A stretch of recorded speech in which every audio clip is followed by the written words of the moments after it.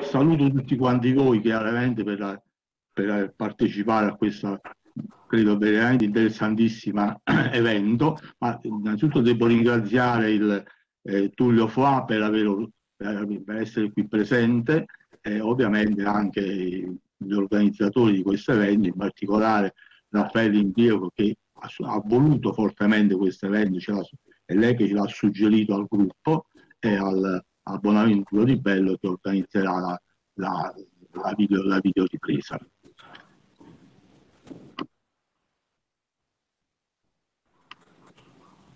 Ecco, io, io, cito sempre quando facciamo queste riunioni quali saranno gli eventi futuri che abbiamo, che sono in fase di definizione, definite e che sono in fase di organizzazione. Il prossimo evento si avrà, si avrà dopo Pasqua, il 10 aprile, con la presentazione del libro di Pasquale Carelli, La terra delle piccole lune. Eh, saranno, saranno, presenteranno questo libro eh, Maria Luisa Mentola eh, Franco Russo, se non è, va bene? Mentre il 17 aprile presenteremo il libro di Luigi Leuzzi, Architettura sacra del megalitismo del Cilento, digressioni in termini di identità, e sarà presentato da eh, l'architetto, l'architetto Baldo, Baldo, Baldo credo, e l'architetto Sciambi. E infine vi ricordo sempre queste, questo concorso letterario che è un, un, gioco che facciamo, in cui mi auguro che molti di voi parteciperanno, con un racconto su storia del Cilento, storia del Cilento. Eh, questa è la sinagoga del, così, della, eh, di Napoli, via Cappella Vecchia, una parte della sinagoga, questo è l'interno. Eh, io proietto queste due, queste 3-4 eh, diapositive perché poi devo fare una domanda a, al, al, a, Tullio, a Tullio più dopo. Ecco, queste sono alcune strade di Napoli, eh, questo è San Marcellino per chi conosce Napoli, uno dei più belli, bei complessi, enormi di San Marcellino, e qui sono le strade messa poco vicino, no? dove eh, dovevano eh, eh, la presenza di eh, ebrei a Napoli era molto abbastanza diciamo sentita. Eh, questa è una fotografia che mi ha ricavato Bianca Fasano che eh, la voglio, la, la, forse Tullio non, non prevedevo che io la, la, proiettassi qui questo, questo, qui questo ragazzo qui è il Tullio Tullio Foà alla scuola di Napoli, eh, Vambitelli, eh, nel 1942. Va bene, io credo che a questo punto do la parola, interrompo la condivisione e do la parola, la parola a ehm, Raffaele Imbreo che gestirà e modererà tutta la serata. Va bene? Ciao Raffaella, a te la parola. Ancora grazie Ciao, per essere stato presente. Grazie, grazie a tutti voi. Intanto buon pomeriggio e vi ringrazio per aver aderito a questo invito e, voler, e aver voluto anche condividere questa iniziativa con l'associazione culturale Progetto Centola, ma anche con quella Ballo Lingardo e Lambro, eh, associazioni che veramente si stanno prodigando per la conoscenza storica e più in particolare anche direi più in generale per la diffusione della cultura. Eh, l'incontro stasera col signor con Tullio Foà, che saluto e ringrazio eh, fortemente per la sua consueta disponibilità, io già l'ho conosciuto in un'altra occasione, e offrirà a tutti quanti una testimonianza importantissima e unica in un momento storico in cui c'è tanta confusione e ombre oscurantistiche si fanno presenti e minacciose, seminando odio e insinuando dubbi ovunque. In una situazione come quella che stiamo vivendo, eh, anche per colpa della crisi economica, eh, che comunque è conseguente alla pandemia, siamo tutti diventati più egoisti e questo forse ci fa vedere di più il pericolo in ogni persona e accentua le diversità sempre di più. E questo rischia di far perdere i punti di riferimento e anche sminuire, di sminuire la portata di eventi come quelli che dolorosamente sono accaduti e che purtroppo potrebbero ripetersi. Ci auguriamo che mai più avvengano ma nella, nella memoria di chi li ha vissuti sono presenti e non potranno mai essere cancellati. Ecco allora che una testimonianza come quella di Tullio Foà diventa preziosa e preziosamente va custodita nel nostro cuore e tramandata affinché quello che è successo non ritorni mai più. Volevo soltanto raccontarvi come ho conosciuto Tullio Foà. Eh, è successo di recente perché, come sapete, chi insegna, io sono un insegnante, esiste una legge ormai da, dal 2000, la legge che ha introdotto la giornata della memoria, io mi occupo di organizzare questi eventi eh, per la mia scuola. E parlando con un mio amico che è il dottor Roche Pugliese, che è referente per la Calabria della comunità ebraica di, di Napoli, eh, chiesi se c'era qualche persona che mi poteva offrire una testimonianza importante per gli studenti. E in effetti il signor Foà aderì immediatamente e quindi nei primi, primi giorni di febbraio eh, siamo riusciti ad avere un collegamento con due scuole della Calabria contemporanea con più di mille studenti. Quindi questa testimonianza è stata seguita anche grazie alla, alla bravura di, dell'ingegnere Infantino che è anche qui presente stasera che ringrazio sempre. Eh, siamo riusciti a fare questo collegamento pazzesco e quindi a far sentire a tantissime persone quello che Tullio Foà eh, ci voleva dire. E posso dire oltretutto che in un sondaggio a seguito di un sondaggio, questo non lo, non lo sa Tullio, a seguito di un sondaggio di gradimento che abbiamo fatto nel nostro istituto, risulta che l'iniziativa più apprezzata sia stata proprio la sua. I ragazzi hanno apprezzato tantissimo e hanno riconosciuto veramente in una maniera che veramente non mi aspettavo un valore enorme nella sua testimonianza. E poi è chiaro che io essendo pure campana di origini, ho pensato che questa, che questa iniziativa potesse essere duplicata a favore dell'associazione Mingarde e Progetto Centola, proprio perché ci tengo tanto alle mie radici campane. E quindi la testimonianza adesso che ascolterete, io la, insomma sto concludendo, dico solo due cose per introdurre, e eh, secondo me la, la, la premessa importante per poter analizzare vicende storiche in una prospettiva che non, anche attualizzata, contemporanea, eh, anche perché adesso a questa testimonianza, leggendola in una chiave moderna, possiamo anche in qualche maniera prevenire i pericoli connessi ai venti negazionistici, purtroppo che spirano prepotenti, prepotenti in Europa. E quindi dico l'ultima cosa, per concludere, eh, durante la bellissima presentazione la settimana scorsa di Polvere di, di Storia della scrittrice Bianca Fasano che abbiamo qui in diretta, eh, si è parlato di fonti documentali no? e dell'importanza delle fonti documentali nella ricostruzione storica, delle vicende storiche. Ecco, noi oggi abbiamo una emozionante testimonianza vivente di una persona che ha vissuto quei fatti, quella, quella situazione storica e proprio per questo è anche uno dei momenti più bui, devo dire, della storia italiana. Eh, un bambino che allora aveva 5 anni, che è appunto Tullio, che eh, ha, ha, vissuto quell'orrore e quindi attraverso di lui rivivremo come in un film le sue angosce, i suoi stati d'animo e anche l'impossibilità di comprendere quello che accadeva perché era del tutto assurdo e faceva parte dell'assurdo progetto dettato dall'odio razziale.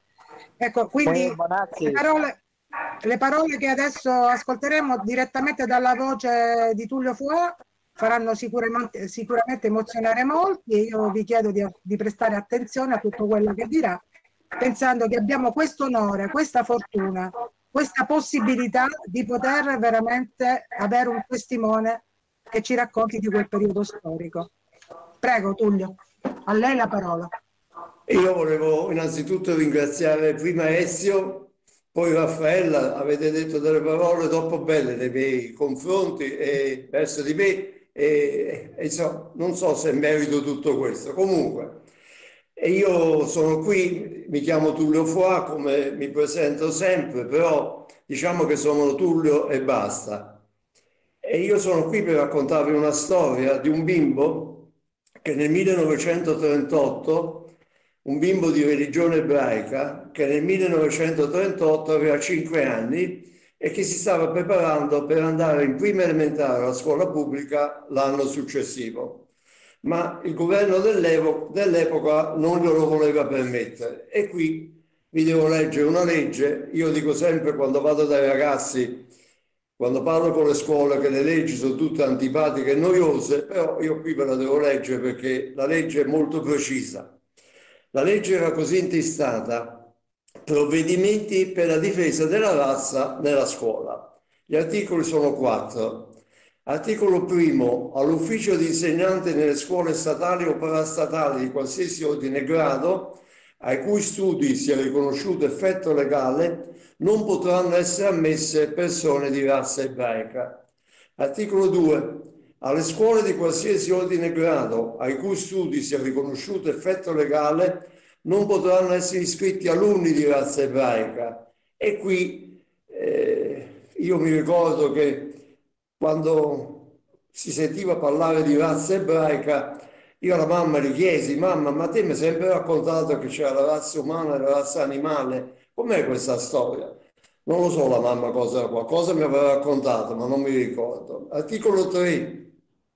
A datare dal 16 ottobre 1938, e questa è una data molto importante per me. Tutti gli insegnanti di razza ebraica saranno sospesi dal servizio e così i presidi, i direttori, gli aiuti, gli assistenti universitari e anche i bidelli. Analogamente anche i libri docenti di razza ebraica saranno sospesi dall'esercizio della libera docenza. Quarto ed ultimo articolo, anche i membri delle accademie, istituti, associazioni, lettere ed arte cesseranno a far parte di detta istituzione a partire dal 16 ottobre 1938. E così a questo bimbo di 5 anni veniva vietato di andare in prima elementare alla scuola pubblica l'anno successivo. Se non che lo stesso governo, una ventina di giorni dopo, cambiò leggermente la legge e disse se in una città si può organizzare solo per la scuola elementare una classe di 10 bimbi e bimbe di, regione, di razza ebraica, noi autorizzeremo ad andare alla scuola pubblica. E così fu fatto. Due le città si organizzarono, che si organizzarono in Italia. Una fu Trento e l'altra fu Napoli. Napoli fu scelto come plesso scolastico una scuola elementare vecchia, molto grande, che si trova nella zona collinare di Napoli, eh, che si chiama Scuola Elementare Luigi Vanvitelli. Se non che all'inizio dell'anno scolastico 1938-39 il direttore della scuola Vanvitelli dell'epoca, il professor Amedeo Muro, che io ricordo perfettamente, si accorge che i bimbi di religione ebraica sono nove e quindi non poteva iniziare questa classe eh, della scuola elementare per i bimbi di regione ebraica. E allora fece una cosa che non poteva fare. Prese il mio certificato di nascita dove c'era scritto Tullio Foix, nato a Napoli il 2 novembre del 1933 e volutamente lesse che ero nato nel 1932. Quindi con questo stratagemma io improvvisamente da cinque anni ne avevo sei e però con questo stratagemma io completai questa classe che veniva chiamata la classe speciale degli ebrei. Il primo giorno di scuola ero molto contento perché andavo a scuola con un fratello più grande, con gli amici che incontravo durante le nostre cerimonie religiose, il nostro luogo di culto che si chiama sinagoga. Avevo anch'io la mia divisa come tutti i bimbi e le bimbe, avevo il mio grembiulino nero, un bel collettino amidato bianco, un fiocco rosso, avevo la cartella di tela perché all'epoca il cuoio non ti potevi avvicinare per i costi. Nella cartella, come voi ben sapete, in prima elementare c'è il sillabario, c'è il quaderno a righe, il quaderno a quadretti, sempre a righe grandi, a quadretti a grande, perché in prima elementare è tutto grande. Avevamo la penna col pennino. Perché la penna col pennino? Perché all'epoca non c'era la penna biro e noi sul banco avevamo un buco e in questo buco c'era una polla di vetro con un liquido nero che si chiamava, che si chiama inchiostro. Noi intingevamo la penna col pennino in questa ampolla e scrivevamo sul quaderno. E infine avevamo la carta assorbente. che per noi tutti è lo scottes, quello che abbiamo in cucina, che le nostre mogli, le nostre mamme hanno in cucina. No, questo è un foglio di carta molto importante per noi, perché una volta che avevi intinto la penna nell'inchiostro e scrivevi sul quaderno, dovevi asciugare il quaderno, altrimenti si macchiava tutto. E quindi diciamo però che il primo giorno di scuola tutto molto bello. Se non che dopo qualche giorno incominciai a notare qualcosa di strano. Ora, tutte le scuole del mondo, io penso, hanno un ingresso principale grande e tanti piccoli ingressi laterali che servono come vie di fuga nel caso di incendi o pericoli gravi. E mi accorgo che da questo cancello principale noi non entravamo, solamente noi dieci entravamo da un cancello secondario un quarto d'ora prima degli altri e sempre solo noi dieci uscivamo da questo cancello secondario un quarto d'ora dopo gli altri. Guardate che questo cancello secondario esiste tuttora, eh? perché ci entrano i bimbi della materna attualmente. Noi, forse la nostra classe è stata la prima classe mista in Italia, perché all'epoca i maschi e le femmine venivano divisi, non è che stavano tutti insieme, c'era la classe maschile e la classe femminile e noi eravamo una classe di sette maschi e tre femmine, prima, seconda, terza, quarta e quinta elementare tutti insieme. Noi avevamo due insegnanti, uno che faceva la prima, la seconda e metà della terza e l'altro che faceva l'altra metà della terza, la quarta e la quinta. La ginnastica la facciamo in classe, noi al bagno potevamo andare solamente quando tutti gli altri bimbi e le altre bimbe erano rientrati in classe.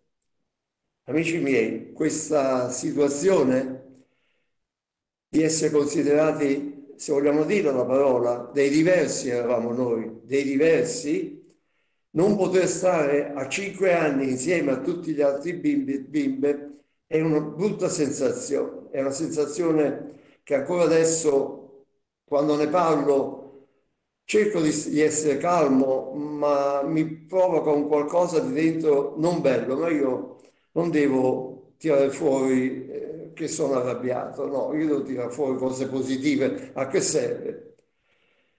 Ma io vi devo parlare della mia famiglia.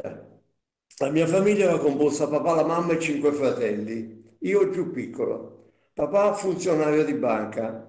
Vi ho detto prima, eh, ricordatevi la data del 16 ottobre 1938, perché quel giorno papà andò a lavorare. È arrivato e gli hanno detto no, Fuà, voi da oggi non fate più parte di questa banca. Papà chiese perché? Perché voi siete ebreo. E papà fu licenziato. E papà doveva cercare lavoro. In Italia il lavoro non ce l'aveva perché non glielo davano perché era ebreo e papà partì per l'Africa, esattamente per l'Eritrea, per Asmara. Perché l'Africa?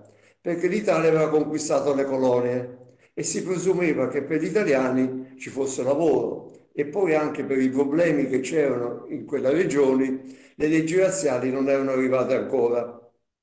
Papà è partito nel 1939, è tornato nel 1947, io non lo conoscevo. Il fratello più grande aveva finito il liceo all'Umberto di Napoli e voleva iscriversi all'università e per la stessa ragione gli fu detto no, Foà, voi non vi potete iscrivere all'università, sempre per la stessa ragione, perché voi siete ebreo. E mio fratello io riuscì ad andare negli Stati Uniti, dove c'erano una sorella e due fratelli di mia mamma che facevano gli orchestrali. Mio fratello vive negli Stati Uniti, il 3 marzo ha compiuto 100 anni, due volte l'anno viene in Italia perché noi fratelli siamo molto legati tra di noi. Non so se quest'anno verrà, se non verrà lui, quando è finita questa storia del Covid ci andremo noi. E quindi a Napoli rimanemmo noi quattro con la mamma. La prima cosa che fece la mamma fu cambiò casa e andò in una casa più piccola, più modesta. Ogni volta che si tornava a casa si notava la scuola, si notava che mancava un quadro, un tappeto, un mobile, dei posate importanti. Insomma, la mamma ha venduto tutto quello che c'era da vendere per dare da mangiare a questi quattro ragazzi. A un certo punto le risorse sono finite e da allora mi ricordo che la mamma ci riunì una sera in cucina intorno forse all'unico tavolo che avevamo, ci disse ragazzi, noi dobbiamo trovare il sistema che tutti i mesi ci entrino dei soldi che ci serviranno per pagare l'affitto di casa. Perché se noi non paghiamo l'affitto di casa ci cacciano e si cacciano non sappiamo dove andare. All'epoca se non pagavi l'affitto ti cacciavano. Oggi se non paghi l'affitto continui a rimanere in casa. E sono, è la vita che è cambiata. E allora fu deciso di affittare una stanza. Noi avevamo già una casa di tre stanze, in una viveva la mamma e in una vivevano noi quattro ragazzi e venne questo signore, un signore alto, giovane, lo ricordo benissimo. Dovete sapere che il governo non ci riteneva degni di avere la radio, è questa la parola. Voi ebrei non siete degni di avere la radio. E quindi una mattina sono venuti due funzionari della questura, del partito, due funzionari e sono venuti a prendersi la radio. Quindi noi la radio non l'avevamo, la televisione non esisteva, i giornali scrivevano quello che il regime imponeva di scrivere, le notizie vere della guerra non si conoscevano. Però c'era una radio clandestina, una radio clandestina che trasmetteva da Londra, dove c'era uno speaker inglese che parlava l'italiano perfettamente. Questo speaker, che si chiamava il colonnello Stevenson, si inseriva sulle frequenze radio italiane a sera tardi e trasmetteva dei messaggi incomprensibili e si presentava in questo modo. Quattro colpi di tamburo, quindi tan tan tan tan, e poi sentivi qui Radio Londra vi parla il colonnello Stevenson. E poi dei messaggi incredibili, i messaggi di questo tenore. A Napoli il sole sorge a mezzanotte. Oppure, siccome a Tora Annunziata c'erano i pastifici, gli spaghetti di Tora Annunziata non sono più buoni. Erano dei messaggi che agli orecchi delle persone normali, come più o meno eravamo normali noi, anche se non eravamo troppo normali agli occhi degli altri, erano incomprensibili, ma erano dei messaggi precisissimi che venivano mandati alla resistenza che si stava organizzando per cacciare i tedeschi. Che il sole a Napoli sorgeva a mezzanotte, perché a mezzanotte sarebbe passato probabilmente un aereo e avrebbe paracadutato armi e quant'altro per i partigiani e che gli spaghetti Annunziata non erano più buoni perché da Londra avevano capito che quella rappresaglia che i partigiani stavano organizzando contro i tedeschi era stata scoperta dai tedeschi. Allora loro da Londra, con il loro servizio segreto, dicevano gli spaghetti di Annunziata non sono più buoni, lo facevano capire. E la mamma si accorge che questo signore che è venuto a casa sentì, aveva una radio e sentiva Radio Londra.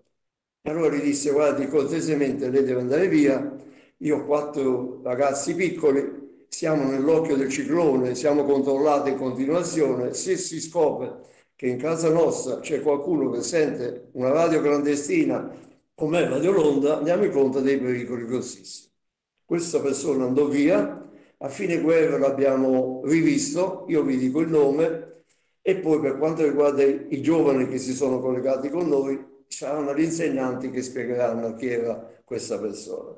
Questa persona era Franco Calamandrei, il figlio di Piero Calamandrei. Piero Calamandrei, ragazzi, è stato uno di quei politici che dopo la guerra, unito, unendosi con altri politici, hanno scritto quella Costituzione, la Costituzione italiana, quella Costituzione che è ancora in atto, sempre la stessa, malgrado gli sforzi di alcuni politici che vorrebbero cambiarla a loro piacimento, ma io mi auguro che non usciranno mai. Ma le deportazioni devono partire da Napoli. Il colonnello Scolo, comandante, comandante tedesco, nazista, comandante della regione Campania, aveva organizzato tutto con cura, come quando lo organizzano normalmente quando i tedeschi devono organizzare qualcosa lo fanno con estrema precisione. Aveva requisito due carri bestiame, li aveva fatti piombare in modo che chi entrava dentro non poteva più uscire. Aveva scelto il giorno per andare a rastellare gli ebrei napoletani. E qui, secondo me, ha fatto un ragionamento giusto, perché lui aveva pensato, i cattolici quando vanno a pregare? La domenica. Gli ebrei quando vanno a pregare? Il sabato. Se io il sabato vado nel loro luogo di culto, in un colpo risolvo una parte dei miei problemi. I suoi problemi erano quelli di prendere gli ebrei napoletani. Ed era sicurissimo che sarebbe stata un'operazione semplice, tanto che aveva deciso che doveva allietare questo rastrellamento degli ebrei napoletani con una musica. E aveva scelto anche la musica, era la lacrimosa dalla messa di Requiem in Re minore di Mozart. Pensate che animo gentile. Poi ha anche pensato, i napoletani sono indolenti, quando dico i napoletani io dico gli abitanti della campagna, i napoletani sono indolenti, i napoletani sono abituati al dominatore di turno, i napoletani sono strafottenti, per me fare questa razzia sarà una cosa semplicissima. E qui ha sbagliato, perché ha sottovalutato l'orgoglio e l'eroismo dei napoletani, perché grazie alle quattro giornate di Napoli, grazie all'insurrezione popolare, i tedeschi sono stati cacciati da Napoli, perché quando sono arrivati gli alleati in campagna, la campagna era libera.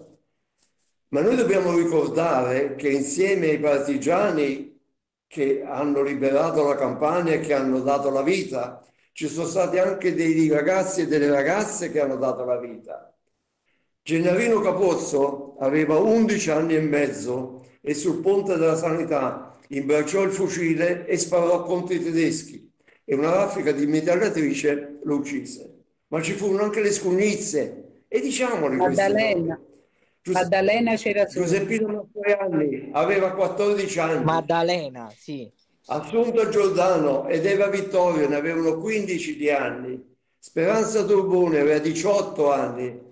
Ragazzi, tutte queste persone che io chiamerei eroi hanno dato la vita per dare prima a noi la libertà e la democrazia, ma per darla a voi, perché se voi oggi potete andare dal vostro dirigente scolastico, bussare alla porta e andarci a parlare, e così col sindaco, col prefetto, col comandante dei carabinieri, lo dovete a queste persone, a questi eroi che hanno dato la vita.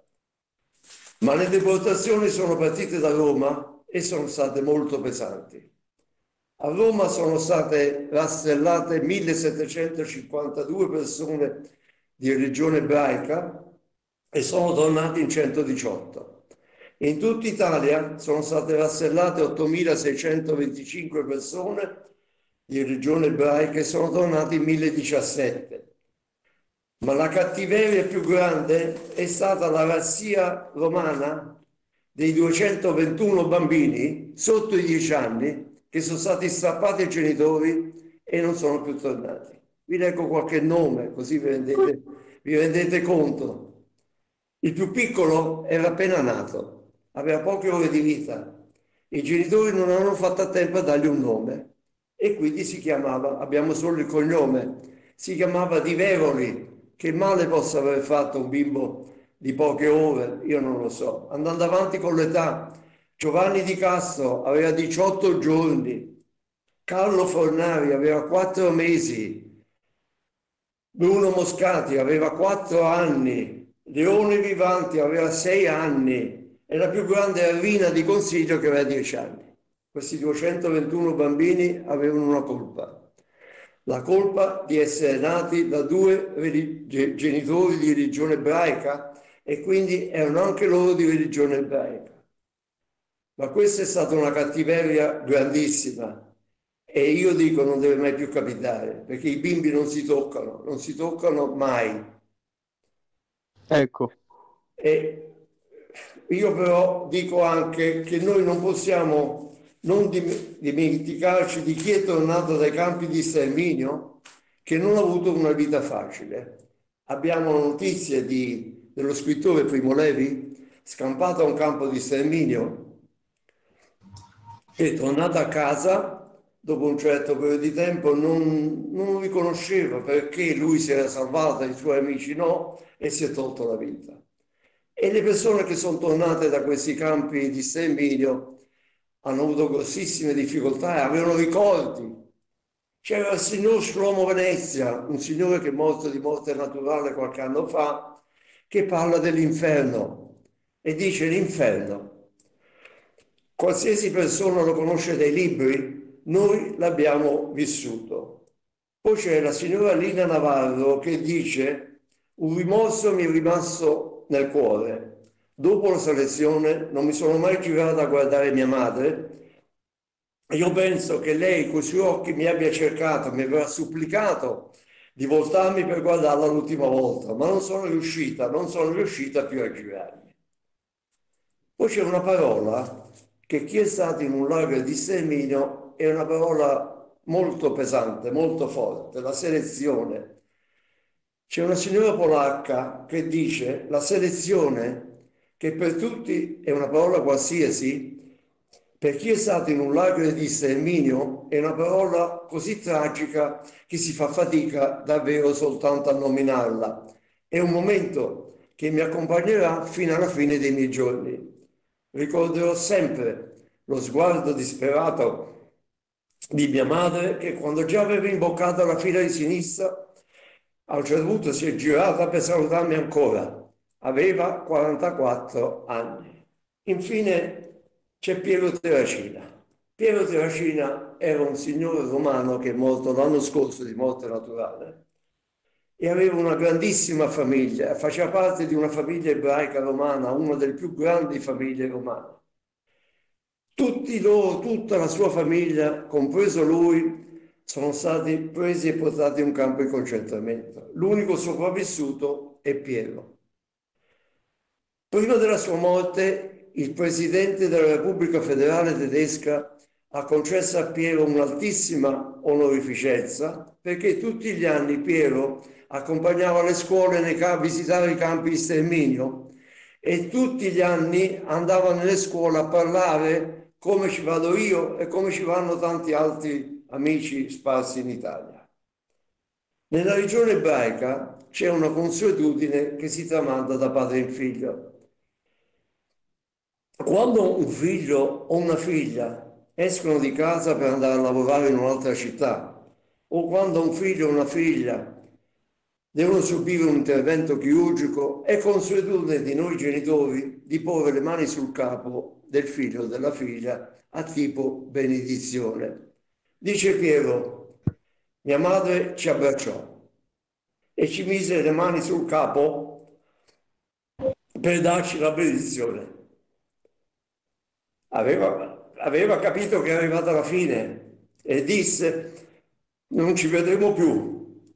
I tedeschi urlavano, bastonavano e mia madre ebbe paura, ebbe paura non per lei, ebbe paura per noi e disse adesso andate, non l'ho più vista. Io mi avvio, mi sto avviando alla conclusione ed è mia consuetudine, prima di chiudere il mio intervento, di rivolgermi prima agli insegnanti che siete, voi, voi insegnanti, e poi i ragazzi. Agli insegnanti vorrei leggere una lettera che un preside polacco scampato al campo di sterminio scrive il primo giorno di scuola agli insegnanti di tutto il mondo per augurargli un buon anno scolastico. La lettera recita così. Caro professore, sono sopravvissuto di un campo di concentramento i miei occhi hanno visto ciò che nessun essere umano dovrebbe mai vedere. Camere a gas costruite da ingegneri istruiti, bambini uccisi con veleno da medici ben informati, donne e bambini uccisi e bruciati da diplomati di scuole superiori e università. Diffido dunque dalla istruzione. La mia richiesta è aiutate i vostri allievi a diventare esseri umani i vostri sforzi non devono produrre dei mostri educati, degli psicopatici qualificati, degli Eichmann istruiti. La lettura, la scrittura, l'aritmetica non sono importanti se non servono a rendere i nostri figli più umani. E io concludo il mio intervento rivolgendomi ai ragazzi presenti in questo collegamento. Vi ringrazio di essere intervenuti a sentire questa storia di questo bimbo che aveva cinque anni. Ma io vi devo dire qual è stato un giorno molto bello per me. Quando sono arrivati gli alleati a Napoli, e Napoli era libera, ricordiamocelo, era libera.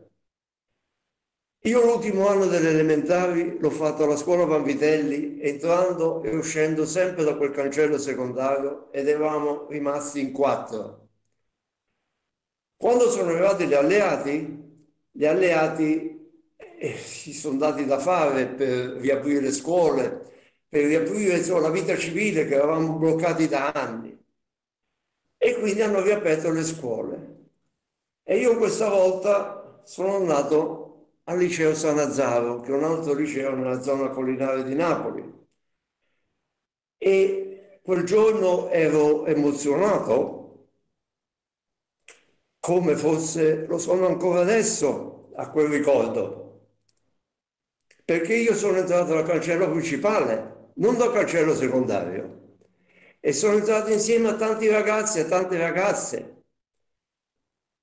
ed ero frastornato, emozionato, però entrando a scuola avevo capito due cose, che avevo riacquistato la mia libertà, ma soprattutto avevo riacquistato la mia dignità, che nessuno era riuscito a distruggere però, grazie.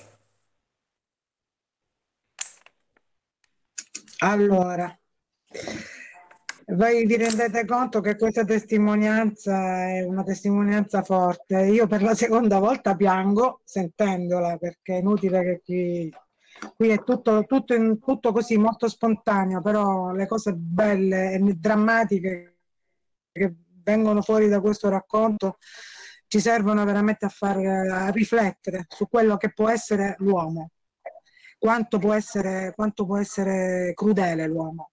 Ecco, e la cosa interessante di tutto questo discorso che, che il signor Foà, che Tullio racconta quasi giornalmente agli studenti, perché la cosa importante da dire è questa, cioè lui sta facendo di questo, di questo, sua, di, di questo suo vissuto, ne ha fatto proprio una ragione di vita, perché racconta agli studenti di, di tantissime scuole d'Italia con una, anche con, con, una dedizione incredibile, perché voglio dire, è stancante fare ogni giorno questo lavoro, racconta la sua storia, quindi è bellissimo questo, nello stesso tempo molto molto triste ma necessario. Un racconto necessario lo definisco Tullio, quindi io la ringrazio anche per questo.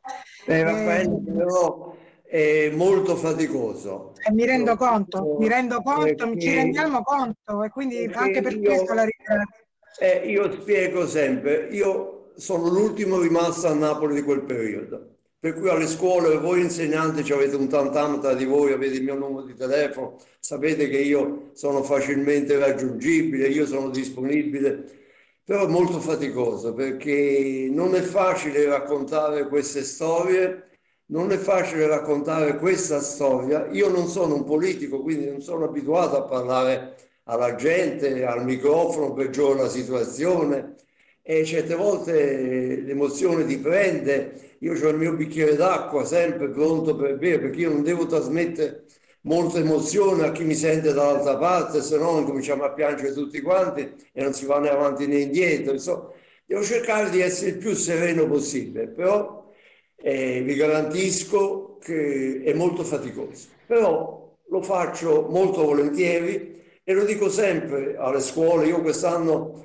eh, rispetto all'anno precedente che non, ho fatto di più, però sempre ho fatto 37 scuole quest'anno, quindi non sono poche con questo eh, strumento infernale, che io lo considero un strumento infernale, però se non ci fosse stato questo strumento, il tablet, il computer, no, non si poteva fare niente perché da vicino non si può fare. Dico sempre a, alle scuole, ragazzi sfruttatemi, perché fin quando io eh, ce la farò, è che ragazzi non vi dimenticate che ho 88 anni, però dico fin quando ce la farò? E fin quando la testa funziona, perché se, eh, eh, oddio, io sono tranquillo che la testa dovrebbe funzionare sempre, perché la mamma è morta che aveva 103 anni, è lucidissima, in casa nostra Alzheimer non c'è, però dice c'è sempre un detto che dice c'è sempre una prima volta io mi auguro che non, che non sia per me e quindi mi auguro di, continuare come fanno i miei fratelli in altre città d'Italia di continuare a venire a raccontare perché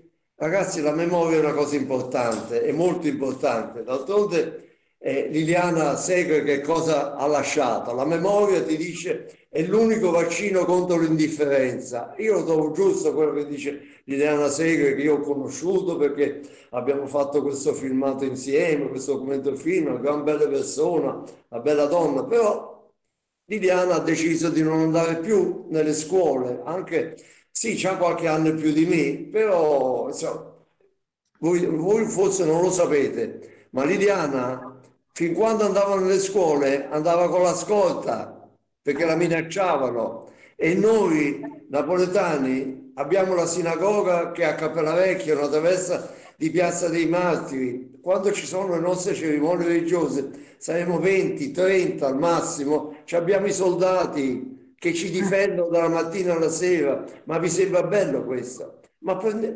fate un minuto col, col cervello, andate in chiesa e trovate i soldati che vi difendono. È una cosa incredibile, siamo nel 2021, santi Dio, la guerra è finita da 70 anni, da 80 anni, a quanto tempo è finita? E ancora si devono sentire queste cose.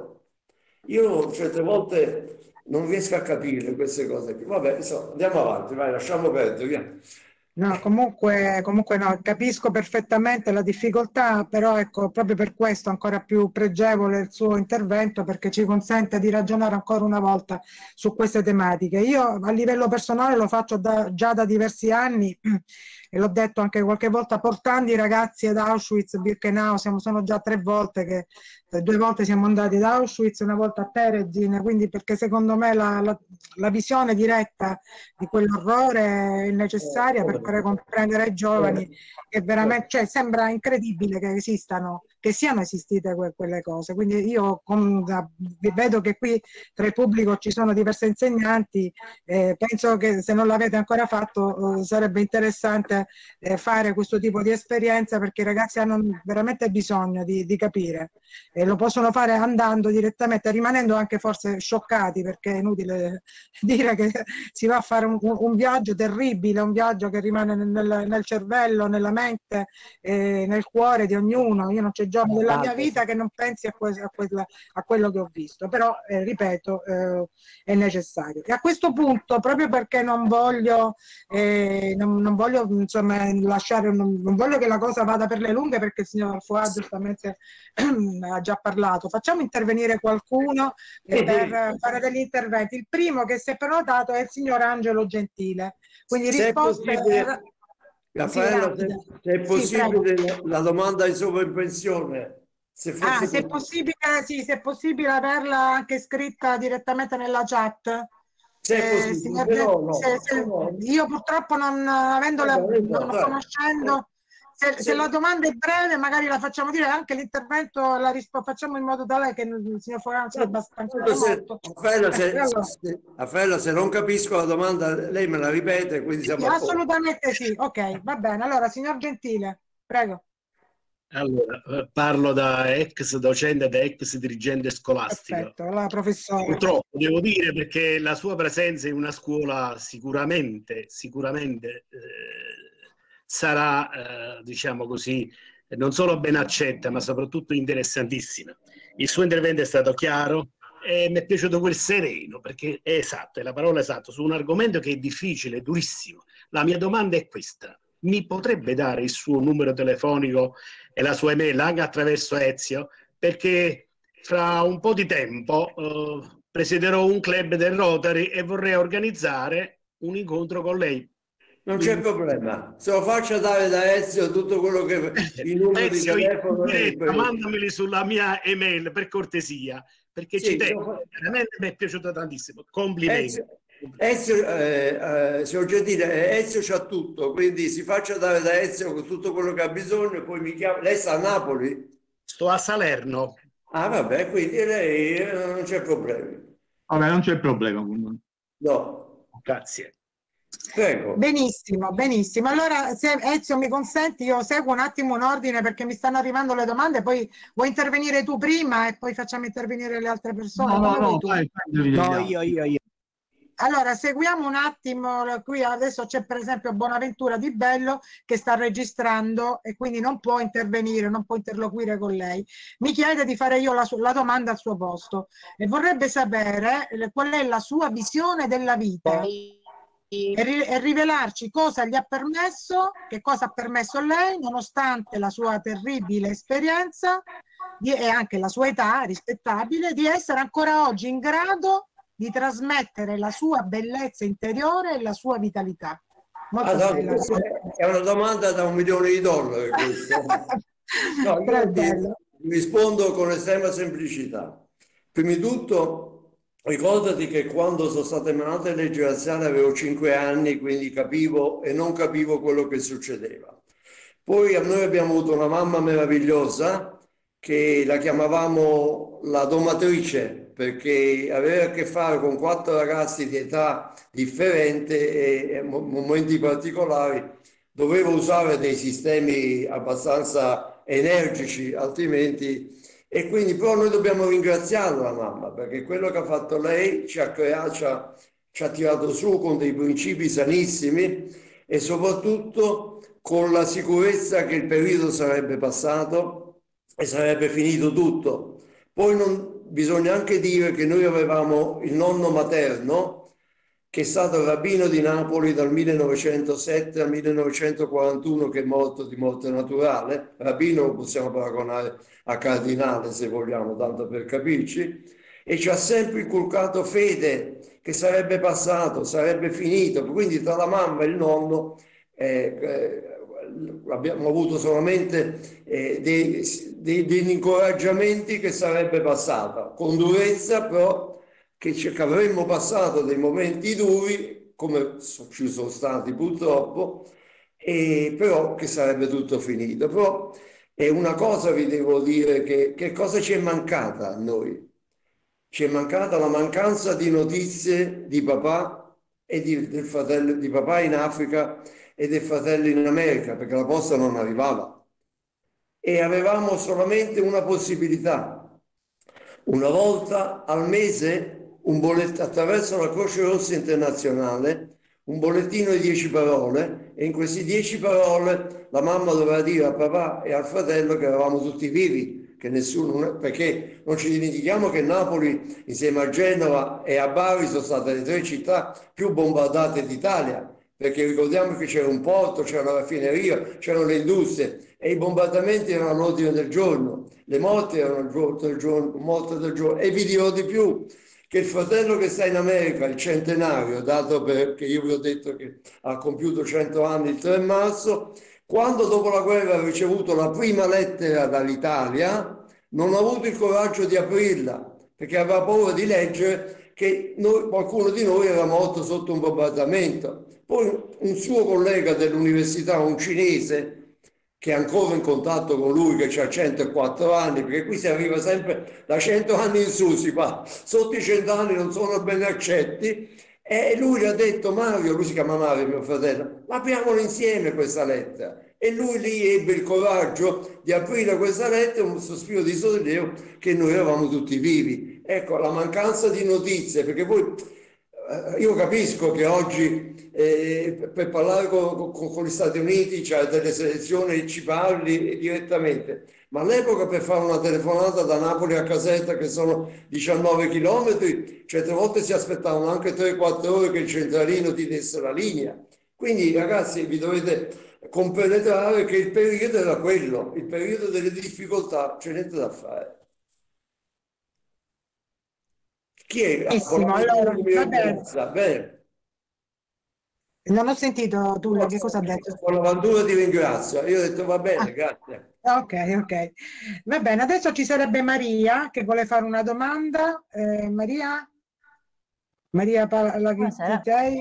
A Palaghitei, a Palaghitei sì, scusami, ok, dai. Allora, Maria, eh, vorrei, se possibile, fare due domande. Sì, eh, vorrei già dire priori che se non è, le mie domande non saranno un imperativo kantiano, quindi se lei non vuole rispondere comprenderò no, no, perfettamente. Tutte le domande in questo modo. Allora, da storica, ehm, io ho fatto una tesi di laurea sul processo di Norimberga e il processo Eichmann E quindi vorrei fare un piccolo inciso. Eh, Eichmann era tutto tranne che istruito. Si vede anche nelle fasi processuali che non sapeva quasi quasi neanche la propria lingua madre. Comunque, il piccolo inciso passato. Eh, la prima domanda sarebbe questa. Eh, sono con Raffaella, abbiamo condiviso l'avventura, di, l'avventura la, l'esperienza di andare a visitare il campo di concentramento di Auschwitz-Birkenau. Ehm, ora, studiando su questo campo di, di concentramento, ehm, anche nella tesi ho posto un appendice eh, secondo lei sarebbe meglio continuare a denominarlo Auschwitz, quindi con il nome eh, dato dai tedeschi, dai nazisti, oppure sarebbe meglio ritornare a richiamarlo col nome originario, quindi Oswiecim? La seconda domanda sarebbe in virtù di ciò che la sua generazione ha dovuto passare, cosa ne pensa di ciò che sta accadendo in Israele invece nei confronti della Palestina? Bella domanda. Grazie allora, mille. Rispondo prima alla prima e poi alla seconda, perché io non mi ritiro, non, non, non, non scappo di fronte alle domande. Magari eh, non, so, non, sono in grado di rispondere a una domanda, ma queste due sono in grado. Allora, per quanto riguarda il campo di concentramento, il campo di Auschwitz deve rimanere così com'è, deve rimanere così perché deve essere un ricordo perenne per tutte le scuole, per tutte le generazioni che vanno a visitare e non deve essere cambiato assolutamente perché devono vedere le brutture che succedevano in quei campi, devono vedere tutte le scarpe accantonate, devono vedere i capelli accantonati, devono vedere gli occhiali accantonati, devono vedere, non dico toccare con mano perché non potranno toccare, ma devono avvicinarsi e guardare e rendersi conto che cattiveria, cosa è successo. Per quanto riguarda la seconda domanda degli, eh, riguardante lo Stato di Israele, io le dico con molta franchezza che alcune cose sullo Stato di Israele io non sono d'accordo, a, a prescindere dal fatto che io sono un cittadino italiano che ha fatto il servizio militare in Italia e quindi ho giurato, ho fatto il giuramento di fedeltà alla Repubblica Italiana, quindi più italiano di me io penso che non ci sia. Allora, eh, da quando, quando, è nato lo Stato di Israele nel 1948, prima di allora israeliani e palestinesi convivevano benissimo. Poi è nato lo Stato di Israele e sono arrivati in Israele una quantità di gente che veniva dall'Europa dell'Est, lo sappiamo, e soprattutto sono arrivati degli scienziati, gente che ha reso un, un terreno arido, l'ha reso un giardino, eh, hanno creato industrie e tutto. Chiaramente le forze, le grandi potenze incominciano a intrufolarsi perché anche loro vedono il bisogno di sfruttare questo o quell'altro e purtroppo nasce, è nato questo conflitto tra israeliani e, e, e arabi. Però io sono d'accordo che devono dare lo Stato di, eh, arab, agli arabi lo Stato loro, perché è giusto che ce l'abbiano, perché anche loro vivono lì da centinaia d'anni. Per cui se questa era la domanda che lei mi aveva fatto, io ho risposto. Se non è questa, me la rifà e io cerco di rispondere in un altro modo. Più o meno è questa la domanda che mi aveva fatto Maria? Sì, sì allora, okay. è stato promosso? No, perché siccome c'è una storia, io nella vita mia studioso sono stato bocciato parecchie volte. Allora io adesso, quando ho degli insegnanti di fronte, mi devo, mi devo togliere i sassolini dalle scarpe. Scherzo naturalmente, perché adesso bisogna anche scherzare, no? Che diavolo. Infatti, infatti. No, penso che sia stata, sia stata esaustiva la risposta, Maria eh, anche perché insomma hai, preso proprio un argomento che insomma è piuttosto denso di, di contenuti, però insomma eh, Tullio ha dato una risposta che secondo me può, um, accontenta, accontenta, sicuramente, no? Ti accontenta, sì, quindi sì. va bene, va benissimo. Adesso ci sarebbe Francesco Pio Carrino e poi la parola ad Ezio perché concludiamo facendo riferimento, se per me possiamo stare ancora un altro pochino, se ci sono altri interventi, faremo riferimento a una, a una a un personaggio del Cilento, a un signore che si chiamava Giuseppe Veneroso, che a suo modo può essere considerato un, ero un eroe eh, del, un eroe perché ha salvato migliaia di ebrei, forse lei non Beh. lo sa, Tullio, di questo fatto. E quindi ne parliamo attraverso poi le parole di Ezio e di un'altra persona, il signore che l'ha conosciuto questo è bellissimo. Eh? Di Iannona, Iannone. Il signor Maurino, mi pare, ma, Maurino, Massimino e Iannone, però questo lo facciamo fra qualche minuto. Adesso facciamo intervenire Francesco Pio Carrino con la sua domanda e poi passiamo a questa. Bella, anche io volevo fare una domanda, l'ho scritta. Eh, allora, aspetta un attimo, io leggo adesso no, il signor Carrino e, e, poi ecco qui, ecco, ce ne sono diversi, ha ragione, eccolo lì. Ecco, allora, allora incominciamo con il signor Carrino. Ah, cioè, lo dico subito, eh, come abbiamo superato la cosa economica, dall'Africa sì. ogni tanto arrivavano 500 lire, perché qui mm. all'epoca c'erano le lire e i centesimi. Poi i, i, miei fratelli più grandi, quelli Scusa, che non abbiamo capito la domanda, studio, non abbiamo capito la domanda che ti ha fatto Carlino. Però. Ma è stato Qual chiesto, Ezio te lo dico io, hanno chiesto come vivevamo noi, come economicamente tiravamo avanti eh, sì. in casa. Allora io sto rispondendo a questa cosa qui. Sto dicendo che papà dall'Africa ogni tanto arrivavano 500 lire, perché all'epoca c'erano le lire poi c'erano i due fratelli più grandi, 13 anni e 11 anni, che lavoravano. Quello di 13 anni era stato assunto da una, una ditta di spedizioni napoletana, amica di famiglia, logicamente impegno, perché non poteva ufficializzare l'assunzione di un ebreo. E quello più piccolo, di 11 anni, invece si era inventato un lavoro Oggi noi se abbiamo bisogno di un certificato di nascita, uno stato di famiglia, che facciamo? O andiamo in comune o per fare prima... Raffaella, spegni il microfono per favore. Raffaella, spegni il microfono. Sì, sì, scusami. Sì, sì. Posso? Posso? Allora dicevo, mio fratello, oggi se abbiamo bisogno di uno stato di famiglia, un certificato di nascita, o andiamo in comune o se vogliamo fare prima andiamo da un'agenzia e ce lo facciamo fare. Lui si era inventato l'agenzia volante faceva il giro del quartiere, andava dalle signore, specialmente i primi giorni di scuola, che bisogna portare certificati di nascita e quant'altro, le signore gli ordinavano questi certificati, lui li andava a fare e gli regalavano dei centesimi, non lo so cosa, quanto, che lui dava alla mamma per il sostentamento. Poi c'è stato qualche parente a Napoli che ci ha aiutato e, e così siamo andati avanti. Poi la seconda domanda però non ho fatto tempo a leggerla perché è, è partito il, il scritto. Allora, sempre parliamo della seconda domanda di, del signor Carrino, a me non risulta, risulta, non lo so, era la, la domanda del signor Carrino questa? No, a me sembra quasi che, no, penso che abbiamo saltato l'ordine. Secondo l'ordine che leggo qui ci sarebbe Andrea Luise adesso. E se posso, pochi secondi, non sono domande, ma volevo intanto uh, esprimere una profonda emozione che lei ha, mi ha creato ed è piuttosto raro, diciamo, avere emozioni così reali. E poi eh, le immagini usate rimarranno. L'immagine del cancello principale che si apre eh, davanti al ragazzo è un simbolo fortissimo, un, veramente prezioso. Altrettanto prezioso è il collegamento con l'oggi. Penso che il riferimento alla scorta armata nelle cerimonie della sinagoga di Napoli di oggi eh, ci riporti con un cortocircuito terribile, quindi per i giovani soprattutto è prezioso anche questo che ha detto. Concludo confermando la mia ammirazione per l'aspetto della cultura ebraica sul dovere della memoria, dovere della memoria che per tanti hanno adesso scimmiottato con diciamo, istituzioni sulla memoria, sulla memoria, la cultura ebraica la esercita da sempre e ho tutto il mio apprezzamento. Grazie. Grazie, grazie. Raffaele Riccio. Volevo, eh, scusi Raffaella, sì, sì, eh, io, io eh, siccome ho avuto il piacere di conoscere Liliana, quando Liliana segue, quando abbiamo due anni fa eh, abbiamo fatto parte di un documento film, I figli del destino, non so se l'avete visto, chi l'ha visto, chi non l'ha visto, dove praticamente la RAI aveva commissionato a un regista un qualche cosa da lasciare, da mettere nella cineteca della RAI.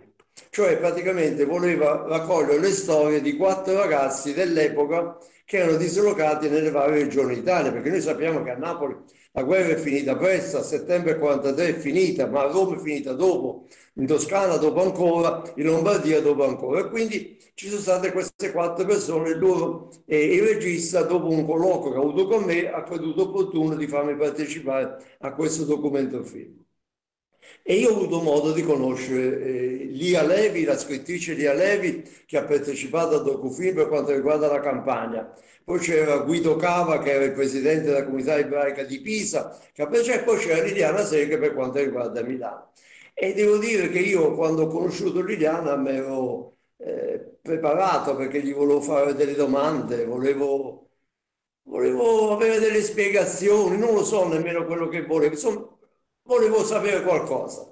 E quando ci siamo incontrati, io sono andato in conto per fare le domande, ma siamo arrivati a un certo punto che eravamo abbracciati tutti e due e nessuno parlava. E nessuno ha parlato perché l'emozione è stata talmente grande da parte mia e da parte sua che nessuno ha detto niente. Tutti e due muti e non ci siamo detti niente.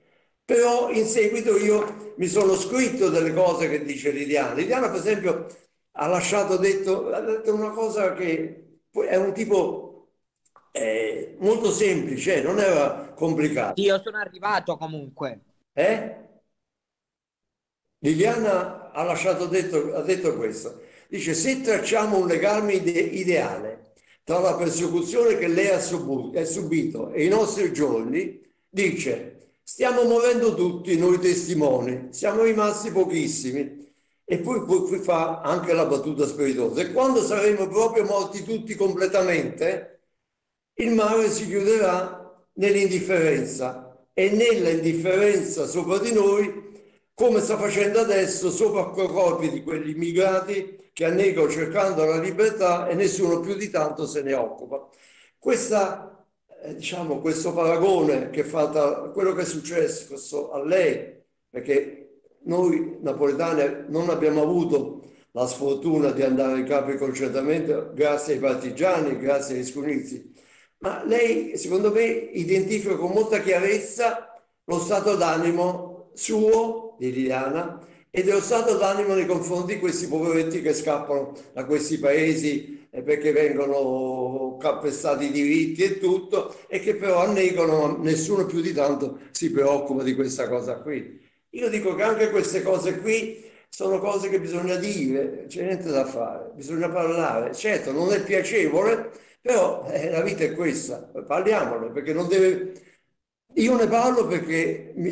il futuro sono i ragazzi che stanno lì, certamente non sono io il futuro dell'Italia, no, però quindi loro devono eh, combattere, devono evitare, devono evitare che il bullismo, io dico sempre ragazzi, ragazzi, il bullismo quando noi siamo andati a scuola, come tutti quanti voi, tutti quanti noi abbiamo preso in giro quel compagno quella compagna di scuola, non ce lo dimentichiamo, l'abbiamo sempre fatto, o perché c'aveva gli occhi spenti, o perché c'aveva gli occhiali strani, o c'aveva le mosce come ce l'ho io, l'abbiamo fatto. Ma fin quando lo sfogoramento avviene fatto da uno o due persone, va benissimo, perché vita, lo sfogoramento è una questione di... ma quando viene fatto da 7, 8, 10 persone non va bene, perché questo si chiama bullismo. E tra il bullismo e il razzismo la distanza non è lontana, è molto vicina. Per cui voi ragazzi, quando succede un qualcosa di bullismo, e ricordate che c'è ragazzi che si sono tolti la vita per il bullismo e non è giusto, quando succede un fatto del genere, voi dovete denunciare ai vostri insegnanti.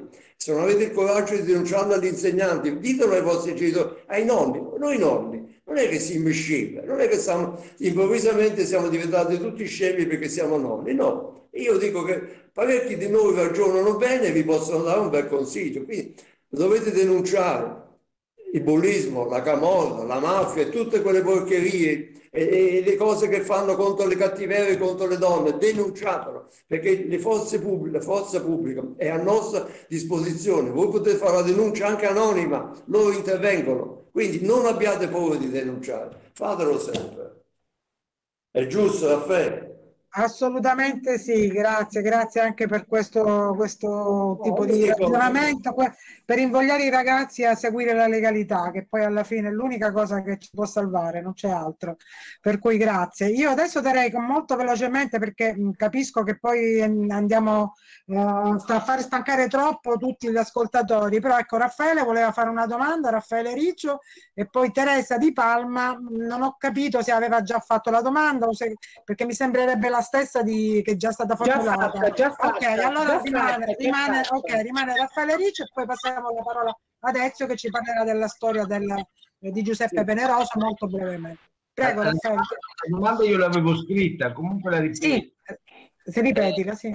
Se aveva avuto solidarietà dai, dagli, dagli italiani, dai miei connazionali, dai nostri connazionali, no? ha avuto solidarietà oppure indifferenza? La vostra situazione Allora- famiglia, eccetera. Allora, chiariamolo subito. I napoletani erano contro le leggi razziali, non erano a favore, però non potevano apertamente dire non sono d'accordo perché le pene eh, de- de- del regime erano pene pesanti. Però eh, bisogna dirlo che ci sono stati molti sacerdoti, molte suore, molti conventi, molte chiese sono aperte e hanno salvato vite umane. E se vogliamo, anche noi, la famiglia Foà, nel suo piccolo, è stata aiutata. Perché, per esempio, se non ci avesse aiutato il direttore della scuola Vanvitelli a, mettere, a, a- a dire un falso, cioè che io avevo sei anni e non avevo sei anni, non sarei potuto andare alla scuola pubblica, alla scuola elementare, a fare l'elementare alla scuola pubblica. E poi c'è stato il brigadiere di, di polizia, del commissariato di zona, quindi un uomo con le stellette, un uomo, un servitore dello Stato che mandò a chiamare mia mamma e disse, signora Foà, lei deve cambiare casa e deve trovare uno che non sia una persona che non sia di religione ebraica, che si assuma, si, si, si, si- intesti l'affitto, il contratto di affitto e i contratti di acqua, gas e luce. Dice così un domani, quando mi chiedono dove sta la famiglia fuori, io dico non lo so, perché all'epoca non c'era il computer, non c'era il codice fi- fiscale. Quindi, e questo è un servitore dello Stato, il brigadiere Salvatore Pacifico. Io dico i nomi quando dico queste persone. La terza persona è stato un amico di famiglia cattolico, Marcello Magri, che si intestò l'affitto e i contratti di acqua e luce. Ma se se avessero scoperto, non è che la passava liscia con una multa, perché all'epoca le pene, le pene erano corporali, erano olio di ricino, ha capito com- com'è la storia? Per cui un aiuto da parte di queste persone, e anche noi nel nostro piccolo abbiamo avuto nostre- il nostro aiuto. E se vogliamo, grazie ai partigiani e agli scunnizi, le, le persecuzioni non sono partite da Napoli. Per cui da Napoli nessun napoletano è stato preso, tranne quei napoletani che avevano delle disponibilità economiche e pensavano di salvarsi trasferendo sulle montagne toscane e abruzzesi. Siccome purtroppo le persecuzioni sono partite da Roma, queste persone sono state tutte prese e nessuno di loro è tornato, anche perché esistevano anche all'epoca i delatori. Quel perché? Perché i tedeschi, i fascisti mettevano dei cartelli, chi denuncia la presenza di un ebreo avrà un premio di 5.000 lire e un'oncia di tabacco, perché all'epoca il tabacco era razionato. E per, questi, per, per prendersi questi soldi hanno denunciato questi ebrei napoletani. Ora diciamolo, noi, la famiglia mia, la famiglia Foà, siamo diventati poveri. Ma non è una vergogna dire essere diventati poveri, è una condizione. Ma forse possiamo anche dire che se avessimo avuto delle disponibilità economiche, probabilmente anche noi saremmo scappati probabilmente sulle montagne toscane abruzzesi sperando di salvarci. Fortunatamente siamo diventati poveri, quindi possiamo anche dire che l'essere diventati poveri forse è stata una fortuna. No- non è una cosa molto normale, però eh, questa è la, è- è la storia, non c'è niente da fare. Benissimo, grazie. Allora, leggo soltanto due commenti dei ragazzi che stanno seguendo. Un ragazzo si chiama Domenico Toscano e dice: Da studente vorrei ringraziare tanto il signor Tullio Foà. Penso che le scuole debbano essere luoghi di sensibili- sensibilizzazione per quanto riguarda tali avvenimenti. Grazie ancora per la sua testimonianza. Sì, Poi c'è ancora Chiara D'Angelo e che dice "An- anch'io da studentessa ringrazio il signor Tullio per questa testimonianza importante e per i sentimenti che ci ha trasmesso oggi. Che bello. Ringrazio Eh, io loro, Raffaella, ringrazio io loro di essere venuti domenica Grazie a sentire ancora. un vecchio che raccontava le cose di 80, di 80 eh, anni fa. Domenico. Domenico, vuoi, vuoi- vuoi esprimere le tue emozioni, le tue sensazioni? Allora, sì, prof, in, in primo, in primo luogo voglio ringraziare di nuovo il signor Tullio Foà, che come già scritto in chat, penso che le scuole debbano essere appunto luoghi principali di, eh, di sensibilizzazione per quanto riguarda tali avvenimenti, in quanto è importante ricordare per non dimenticare, e, so- Certo. e soprattutto per le generazioni future. Certo, sono d'accordo, sono, so- sono d'accordo con te, Domenico. Bisogna parlare, bisogna parlare, raccontare. poi, come abbiamo già discusso in lezioni, diciamo, nostre quotidiane con la prof di Palma, eh, abbia- abbiamo visto che, eh, che l'esercito presiede ancora le, eh, le sinagoghe ebraiche. Quindi la mia domanda è, c'è ancora odio razziale?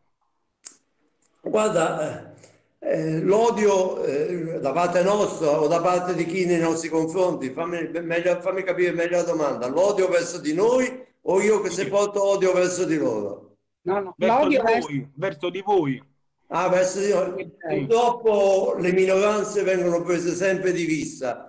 C'è eh, purtroppo un, un gruppo di persone di pensiero eh, che fanno parte dei riduzionisti, quelli che, che dicono sì, i campi concentramento ci sono stati, i campi di sterminio ci sono stati, ma non è che sono morte 8 milioni di persone, sono morte un milione e mezzo solamente, eh, come se fosse un milione e mezzo è giustificato, 8 milioni. Purtroppo ci sono, non c'è niente da fare. E allora eh, io insieme ad altri miei amici, insieme ai miei fratelli, andiamo in giro nelle scuole quando voi ci chiamate, perché se non mi chiamate non vengo. L'unico problema mio è che se volete che venga a scuola mi dovete venire a prendere, perché no, guido ancora, però è opportuno di guidare poco, perché, per- perché c'è troppa gente che potrebbe andare incontro a dei pericoli con, con la mia guida. Ecco, per cui bisogna parlare, bisogna parlare e raccontare nel modo più semplice possibile, senza... Io vado anche nelle scuole, io, io parto dalla quinta elementare in su, quindi io, chiaramente quando vado in quinta elementare parlo in un modo tipo favoletta, perché bisogna anche non martorizzare questi ragazzi, però eh, bisogna raccontare, c'è niente da fare, bisogna raccontare che quando ti racconto la mia storia, eh, io, io ti dico quello che è successo a me, poi eh, tu ci puoi credere, non ci puoi credere, c'è poco da fare, però questa è, la- io te la racconto papale papale e poi eh, sperando che voi è cascato il coso, aspetta, è cascato il tablet, eccoci qua, eccoci, stava cascando Teresa di Palma con tutto il tablet. Non si preoccupi. Va bene, grazie, grazie Domenico. Allora adesso andiamo verso le conclusioni con una domanda di Angela Natale e Sì. poi diamo la parola a Ezio che ci parla un po', facciamo le conclusioni e parliamo, però accenniamo a questa storia di, di Giuseppe Sì. Veneroso, ok? Eh, Allora, sentire. Angela, Sarò veloce. Allora, una risposta a Raffaella quando ha detto noi abbiamo organizzato, siamo stati ad Auschwitz, eh, quindi organizziamo con la scuola visite guidate lì perché non si può eh, dimenticare una cosa del genere.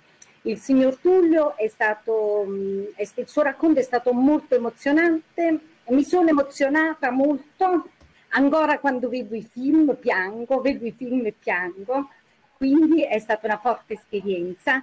Io organizzo anche eventi a scuola, quindi sarà appena la situazione ritornerà normale in presenza, sicuramente inviterò il signor Tullio, vi verremo a prendere a Napoli e quindi abbiamo un'aula magna bella, grande, capiente, quando potremmo entrarci tutti. E, e volevo chiedere una cosa al signor Tullio, non so se la risposta c'è, però me la chiedo io e quindi la chiedo anche a lei, signor Tullio. Qual è il sentimento adesso, ora, oggi, che si, che si prova? Perché io credo che la cosa più difficile è perdonare, ok? Almeno per me, anche dal- dalle cose più piccole alle cose più grandi. Eh, qual è il sentimento che adesso un ebreo prova per quello che è successo, per le persone che hanno fatto questo? Al di là poi che c'è stata una giustizia con condanne, eccetera, eccetera. Però non riesco ad immaginarlo quali possano essere i sentimenti. Non so se lei può rispondere. Sono E- pronto. e poi, signor Tullio, aggiungerei un'altra cosa a quella lettera scritta ai docenti, alla scuola, eccetera.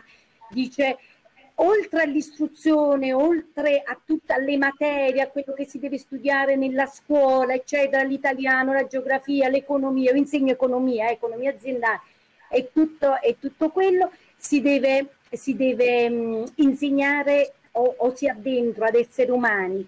Però io dico che è importante anche la coscienza civile, cioè creare una coscienza civile, e da saper fare delle scelte quando veniamo chiamati a fare delle scelte, le scelte giuste. Anche questo è importante Certo. nel, eh, nel sistema educativo, nella scuola. Grazie, grazie per la serata. Aspetti Angela, Angela, Angela, aspetti che risponda alla prima domanda. Sì, grazie. La domanda del perdono. Allora, c'è una differenza tra la religione cattolica e la religione ebraica. Nella religione cattolica si perdona sempre, nella religione ebraica no. Nella religione ebraica si perdona. Se tu, Angela, mi hai fatto qualche cosa e mi chiedi, vieni, senti, ho sbagliato, ti chiedo scusa, ti chiedo- allora finisce lì ed è finita la storia. Ma a me non risulta che i gerarchi tedeschi, i nazisti, quelli che sono scappati dalla Germania e che sono scappati nell'America Latina, anche con l'aiuto di alcuni governi europei, una volta presi dai servizi segreti israeliani e portati in Israele e, e, dove sono stati processati e condannati, nessuno mai di loro ha chiesto perdono, mai. Allora a questo punto io chi de- cosa devo perdonare? Devo perdonare, a prescindere che sono forse l'ultima persona a questo mondo di dover perdonare qualcuno, però di fronte a quella gente lì che non hanno detto scusate ho fatto uno sbaglio, sono stato comandato, no, no, era tutto dovere e quindi non hanno mai chiesto perdono e quindi io non devo perdonare nessuno. Quindi come vede le ho risposto alla domanda del perdono, non sono scappato ancora, sono, sono ancora qui. Ecco, per quello è importante che i nostri giovani capiscono perché l'unica cosa che possiamo fare è quella di evitare, evitare di far certo, perdere Cristo. Quindi Certo, e, e questo, e questo è il motivo di perché io mi rivolgo sempre ai ragazzi che gli voglio raccontare qual è stato il mio giorno più bello quando sono tornato a scuola insieme a tanti ragazzi. Ragazzi, immaginate, per cinque anni, sempre noi dieci, poi siamo diventati otto, sette, sei, quattro, e poi improvvisamente mi sono trovato in mezzo a una marea di ragazzi e ragazze, non capivo niente. Infatti vi dirò che i primi giorni di scuola, eh, mi ricordo l'insegnante di lettere faceva l'appello e chi lo- da noi mica faceva un appello, eravamo in quattro, quindi l'insegnante guarda 1, 2, 3, 4, state lì. Quello faceva l'appello e chiamava fuà, fuà. E io non sapevo che fare, stavo seduto. Poi logicamente i compagni si divertivano, che poi a scuola è così, quando si vede uno che è un po' imbranato, gli altri ci divertiamo a prendere in giro. Poi a un certo punto uno mi ha dato una gomitata e mi ha spiegato che mi dovevo alzare e dire presente. Ma per me era una novità grandissima. E queste sono delle piccolezze che faranno ridere anche, però sono piccolezze difficoltà che io ho incontrato andando alla scuola media con tanti ragazzi e tante ragazze no, perché la, la classe era maschile. Entravamo insieme alle ragazze, poi poi le ragazze andavano da una parte e i maschi dall'altra. Non è come ora che stanno tutti insieme, beati loro. Eh, a tempi nostri no, noi eravamo, noi eravamo beati, eravamo solo maschi, solo uomini. certo, grazie. Sì. Prego.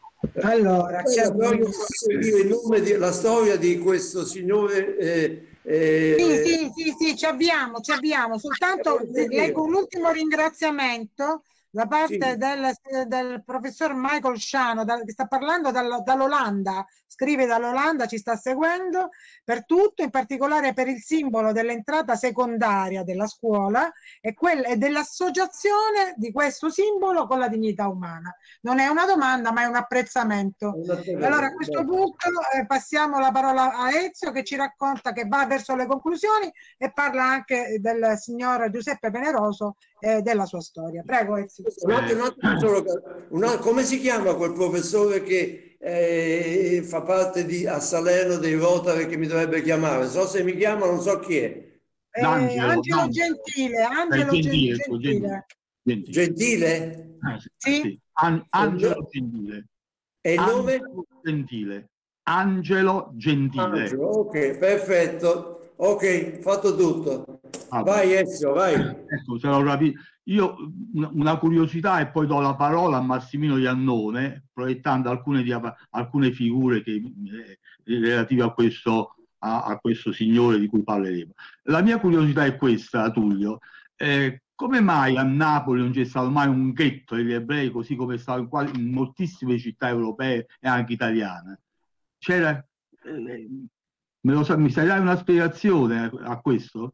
questo fatto? No, a Napoli non c'è stato mai il ghetto, perché eravamo, tieni presente che nel periodo aureo della comunità ebraica di Napoli eravamo 800, bel periodo aureo perché arrivavano da Salonico tanti ebrei greci, ma attualmente pensa che siamo 160, quindi siamo una minoranza della minoranza, eh, 160 da uomini e donne, eh, attenzione, non 160 uomini, 160 da uomini e donne. E il ah. ghetto a Napoli non c'è mai stato. C'è stata una zona, eh, infatti tu hai fatto vedere prima eh, la Giudecca e de, delle insegne stradali con delle diciture ebraiche. C'è stato un insediamento, ma stiamo parlando degli anni 800, 700, un, un insediamento ebraico in quella zona lì che era la zona ebraica, ma eh, dei tempi miei, diciamo, eh, dei tempi del Novecento, non, non, esiste più, quelle, quelle, quei, quei posti lì rimasto una cosa storica e niente più.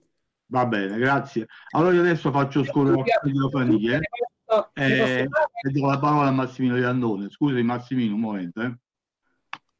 C'era Teresa che aveva alzato il dito.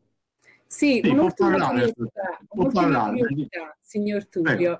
Eh, quale fu il ruolo quale fu il ruolo della Chiesa? Voglio dire, delle, la sua famiglia ricevette un supporto dalle istituzioni religiose del tempo?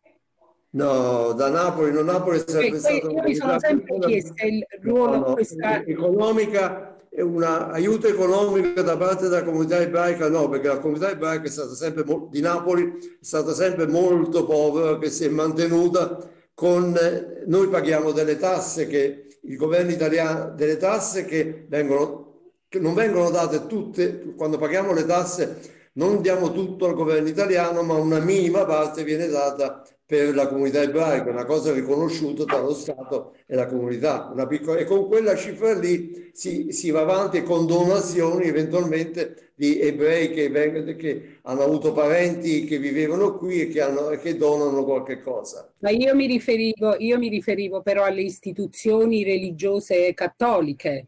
Ah, no, no, no, no, no, no, no, no, no, abbiamo avuto niente. No. Mi spiace, no.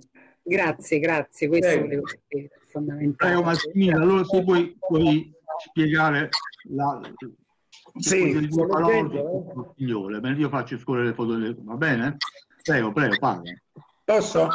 Sì, allora un grazie a Tullio Foà perché eh, il suo racconto funziona tantissimo e immagino l'efficacia verso i ragazzi a cui si rivolge ed è un fatto bellissimo. Allora, ehm, il racconto di questo mio compaesano è abbastanza strano, nel senso che io l'ho conosciuto personalmente, lui ehm, è stato a Pisciotta fino ai 19 anni, eh, ha aiutato il padre pescatore, poi è partito e si è arruolato nella Guardia di Finanza. Quando ehm, è tornato a Pisciotta eh, dopo il 1940 soltanto per le vacanze estive, in realtà sì, parlava delle sue storie da, da militare, eccetera, però non ha mai accennato a questa vicenda importantissima che lo ha, eh, eh dunque, di cui è stato protagonista. Questa storia è rimasta, perciò lo possiamo così un po' definire l'eroe silenzioso, perché questa storia è venuta fuori soltanto negli ultimissimi anni, cioè molto di leggende. Lui è stato sempre restivo a parlarne. Eh, lui in realtà è stato, Angela, insieme a un'altra decina di finanzieri, al servizio di Giovanni Palatucci, che era a Fiume e eh, come vice questore e quindi questo gruppetto che lo stesso Palatucci eh, diceva Giuseppe Veneroso ha definito la squadra della morte per i grossissimi rischi che, eh, insomma, cui andavano in, incontro ogni giorno, allora, eh, questa squadra in realtà ha salvato migliaia di ebrei perché eh, tra Buccari e Fiume loro eh, guidati dal Palatucci, facevano passare e quindi fornivano eh, passaporti falsi, eh, lascia passare ai tantissimi ebrei che eh, dalla Serbia e poi dal, dai paesi dell'est europeo attra attraversavano il confine verso Fiume, verso Buccari, venivano eh, quindi eh, eh in quel territorio eh, dove il vicequestore Palatucci era eh, eh, l'addetto all'ufficio stranieri e da questo Palatucci ricevevano passaporti falsi o lascia passare che servivano loro per passare il confine e quindi raggiungere o l'Italia o altri paesi o la Svizzera oppure molti eh, la Palestina o l'Italia meridionale. Questo ehm, Giuseppe Veneroso, che è morto nel 2009, eh, il figlio ha raccontato che la sua storia è venuta fuori soltanto negli ultimi anni per eh, un, un fatto occasionale, un fatto fortuito, e cioè lui era già anziano, siamo già nel 2006-2007, lui è morto nel 2009, dice che si trovava in un eh, dal barbiere e ha avuto tra le mani eh, eh, la famiglia cristiana, la rivista, e ha letto un articolo riguardante il Palatucci che in quel momento era eh, ehm, stava, cioè per il quale era stata istruita una, un processo di beatificazione. Eh, allora lui praticamente è saltato sulla sedia dice ma c'ero pure io insieme a questo Palatucci, c'ero pure io. Eh, dopodiché lui ha contattato il cardinale che si interessava del processo di beatificazione ed è stato contattato da, da un giornalista di, di, Avvenire, ehm, Picariello, al quale praticamente ha dato il suo racconto. E quindi ha spiegato che eh, eh, questo Palatucci cercava delle, eh, delle, mm, delle persone molto fidate eh, diceva Palatucci non si fidava della polizia e non si fidava dei carabinieri, voleva dei finanzieri. Quindi ha chiesto persone che non di quelli buoni fidati che non parlano e non bevono. Quindi ha costituito questo gruppetto di una decina di finanzieri, qua, eh, parte dei quali eh, eh, erano al confine parte al porto e il nostro ehm, Giuseppe, eh, Giuseppe Veneroso era proprio porto, di servizio al porto di Fiume. Per cui eh, si sono, diciamo, a rischio della vita, loro arrivavano questi ebrei dall'Europa orientale o dalla Serbia, dove c'erano gli Ustascia che erano al servizio un po' dei nazifascisti, e loro li lasciavano passare li lasciavano entrare, poi il Palatucci provvedeva a rifornirli, ripeto, di eh, passaporti falsi o di lasciapassare eh, con il visto della questura e quindi questi, ben sapendo eh, il Veneroso e gli altri suoi colleghi che erano eh, ovviamente eh, passaporti falsi, eccetera, ha accettato di buon, grade, di buon grado il rischio eh, di essere scoperto dalle SS o dai militi fascisti e li lasciavano imbarcare oppure, oppure ehm, davano le istruzioni per attraversare il confine terrestre. Eh, parte di questi ebrei, non moltissimi, sono arrivati anche qui a Campagna dove il Palatucci teneva un vescovo e li aiutava. Eh, dopo l'8 settembre, eh, sarò brevissimo, concludo subito, dopo l'8 settembre questo eh, eh, Giuseppe Veneroso, il quale poi si è schernito anche con il giornalista, dice ma io non sapevo di aver fatto una cosa tanto importante pensavo solo di aiutare delle persone ad, evitare il lager a queste persone. Dopo l'8 settembre lui, in maniera un po' rocambolesca, ha raccolto la bandiera italiana, se l'è cucita nella giacca, è arrivato a Roma e eh, da finanziere è entrato nel gruppo partigiano delle fiamme gialle. In uno scontro con i tedeschi è stato anche ferito. Eh, per cui questo personaggio, che ripeto è abbastanza importante, è il depositario di una storia che abbiamo scoperto soltanto due o tre anni fa, dopo che ha parlato con questo giornalista, dopo che il figlio ha raccontato poco le circostanze di queste sue, di queste sue vicende. Tutto qua. No, perché Paladucci è, stato iscritto, Paladucci è stato iscritto nel libro dei giusti certo. in Israele e certo se potessi avere notizie un pochino più dettagliate eh, di questo signore che, che, lei mi stava raccontando eh, si potrebbe vedere di cercare di coinvolgere l'ambasciata di Israele per, per fare un qualcosa a suo nome, ma bisognerebbe avere delle notizie abbastanza dettagliate e precise.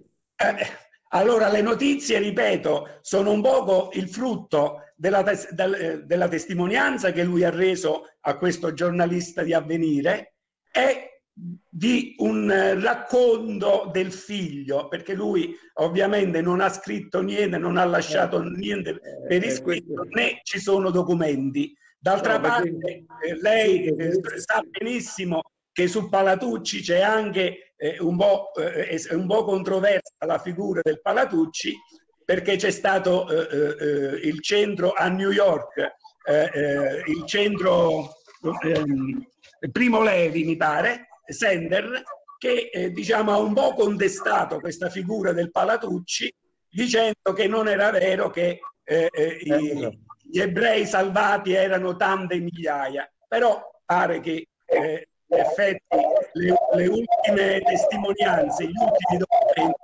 diano ragione al Palatucci. Eh, tra questi per esempio anche il nostro amico storico eh, eh, Francesco Barra ha scritto di queste vicende e quindi pare che la storia debba essere eh, eh effettivamente accettata perché vera. Vabbè, grazie, grazie. Eh, credo che dobbiamo ringraziare il Tullio Foa per la, per la testimonianza che ci ha fornito. Eh, tutti quanti noi dobbiamo pensare ancora, sempre a questo a, quel, a, a, a, quello che è avvenuto diciamo, eh, pochi, pochi, decenni fa, eh, anche diciamo, a un revascismo eh, anti-ebraico che si è, in maniera silente si sta eh, rivelando nei paesi eh, europei, in particolare, in particolare la Francia e altri paesi, ma anche da noi c'è qualcosa. Quindi dobbiamo avere la massima attenzione, dobbiamo stare attenti. La memoria è fondamentale e il coinvolgimento della scuola è ancora più importante e quindi devo ringraziare le studentesse e gli alunni che hanno partecipato e credo che questa, questa diciamo, eh, collaborazione con la scuola in questi temi deve essere sempre più importante perché la memoria la, la, noi la dobbiamo travasare principalmente nei giovani e nei ragazzi. Io credo che poi possiamo chiudere, se tu lo vuoi chiudere con due parole, no? Tu lo vuoi chiudere, vuoi chiudere tu con due parole o chiudo io? Io sto a posto, io vi ringrazio, io vi ringrazio solamente. Siete oh. stati gentili, siete stati affettuosi, siete stati a sentire quello che raccontava un vecchio e purtroppo è così. Però io sono vecchio solo sulla carta di identità, il resto sono giovane ancora, non mi preoccupate. Scherzo io, Ezio, perché bisogna è, scherzare. Eh? È veramente un, un, un, bel personaggio, ecco, questo è quello che volevo, una bella ai, persona. Ai, ai, quando comincia a dire... No, no. Eh, no, Ezio mi preoccupi, però quando comincia a dire uno, quello è un bel, io mi preoccupo di quello no, che bello, dice. Bello perché sei bello, bello non nel senso, anche nel senso fisico. Ok, Dico, va bene per i contenuti che hai e per, i, e per, la capacità che hai avuto di travasare questi contenuti verso di noi e anche verso i giovani che ancora forse più. Grazie, grazie. Buonasera a tutti, ci vediamo dopo Pasqua con gli altri eventi. E noi qui siamo aperti a recepire suggerimenti per altre iniziative, va bene? E quindi siamo qui. Un saluto affettuoso a tutti quanti voi, se non ci sentiamo buona Pasqua a tutti quanti.